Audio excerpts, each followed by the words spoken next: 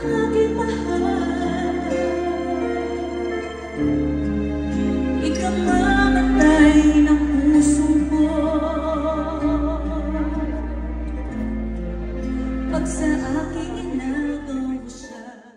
Queen of Teleserye Songs at tinaguriang power diva na si Angeline Quintoy na ipag-isang dibdib na sa kanyang partner na si Non Rev Takina noong April 25, 2024 sa Quiapo Church, Manila.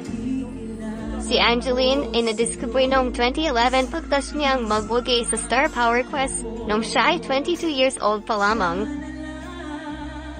Siya ay tubong Sampaloc, Manila at tinalaki ng kanyang lola. Sa edad na 34 ngayon, si Angeline ay tumagal na ng 12 years sa show business.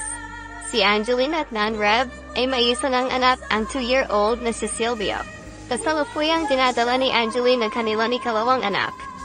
Nakikitang lumuluha si Angeline pagsapit niya sa altar para makipag-isang dibdib kay Nan Rev, isa ding tubong sampalo. Si Vice Ganda, ang matalik na kaibigan ni Angeline, ang tumayang maid o man of honor. Alam mo na tumawag sa Manupuno. Paano kung magmaman-Manupuno dun sa Quiapo?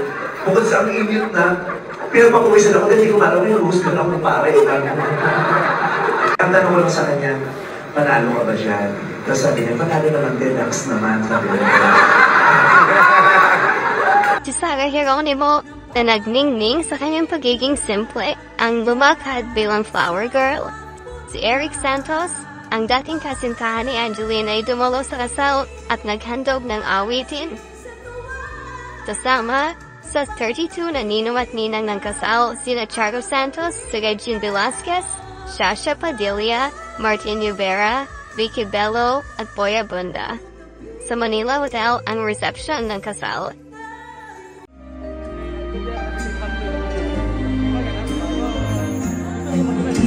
Kailangan ko sa'yo Kasi isip